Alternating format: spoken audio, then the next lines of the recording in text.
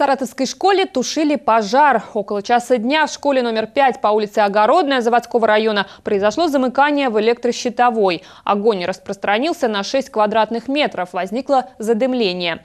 360 учеников и 60 сотрудников школы были эвакуированы. Для ликвидации огня привлекли 11 единиц спецтехники. Всех детей после ЧП отпустили домой. Причины пожара выясняются.